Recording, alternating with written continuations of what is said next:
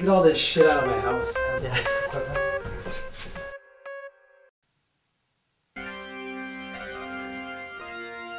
Yeah, sure. It's a real fishbowl effect. Oh, well. Who am I? How did I get here? My, what a wonderful day it is outside. Have I, I- there's the definite weird guy factor. Global warming. No, I mean it's warm out, but it's summertime. It's supposed to be warm out. And if you really want to be cutting edge journalism, and I probably think a part of this is, it's all about exploration. You're on a journey, and you don't know if I'm full of shit or not. This is just Cody's trip. I was just throwing over something bigger for, um, because I think you should interview people that think this is all bullshit. Go interview some Republicans too, you know? Not that they're all full of shit, but say, you know, what, what do you think about, you know, solar design? What do you think about sustainability? Ah, a bunch of bullshit, you know, yada, yada, yada. The shit's hitting the fan. Period. Do. And especially here in America. We're all so self reliant, you know, where we forgot what the tribe was all about. I teach survival skills. You know, I'm hardwired for self reliance. That's what I do. If I don't do what I teach, then what the hell am I? You know, I need to be living what I'm teaching, or it's what I would call a fraud. I've always had a passion for knowing how to do more with less um, because it makes me feel good. It makes me feel more self reliant. It's pretty obvious that society, in my mind, is just a bunch of dominoes lined up that are ready to go. Unfortunately, I think what might cause a lot of people to shift is pain. Is pain in, in the in the in the instance of uh, inflated goods or like you say gas being you know six bucks a gallon or whatever that is. Unfortunately especially in america what i see is there's no real move to conserve unless we're almost already out of whatever it is we're trying to conserve at that point. We don't conserve until we're down to the last roll of toilet paper.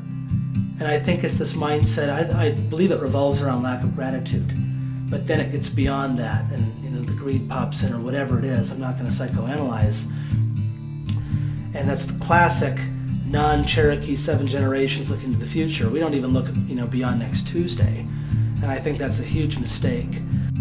Gone so far hooked into technology that we've kind of pu- um, pulled the plug on common sense.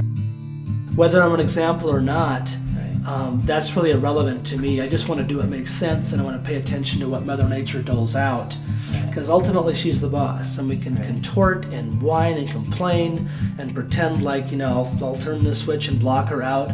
But when the end of the day comes, the more I can live in tune with the natural cycles of the planet, and it's just common sense. It's not grooviness. But unfortunately, to sum it up, I think a lot of people refuse to change or don't have any interest in any sort of conservation until the shit's hitting the fan. Period. As far as the whole global system crumbling, what you can do that dovetails nicely with self-sufficiency is make less of a footprint. You know, and if you do decide to build a home, and building a home is not necessarily less of a footprint, but maybe you could remodel or build a smaller home that's passive solar. So in the long run, you're using less resources on the planet. Paying attention to nature as best you can, and then party on. You know, don't stress over it because life's a drag when you stress over, when I stress over impending doom or lack of resources or whatever it is. It makes the current living uh, a bummer. Party on, dude. Don't stress on it. Everything's gonna be okay. You know, there's a lot to be happy and joyful for, but it's also sad all the destruction that we're having and more. How what are we gonna do when we can't buy food at the store? What are we gonna do when you can't close your door to reality stepping in? How are you gonna live? What are you gonna take and what are you gonna give? How are you gonna live? Where you gonna eat? Where you gonna go when your bread does not come from 1500 miles away? What are you gonna do when you got nothing left to say?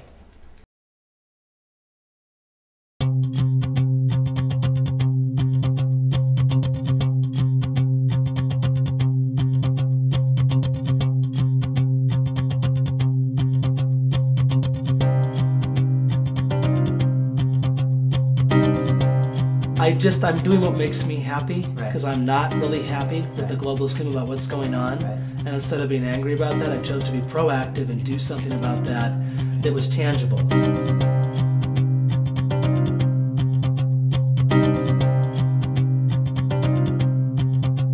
Remember, the more you know, the less you need. So pay attention to nature,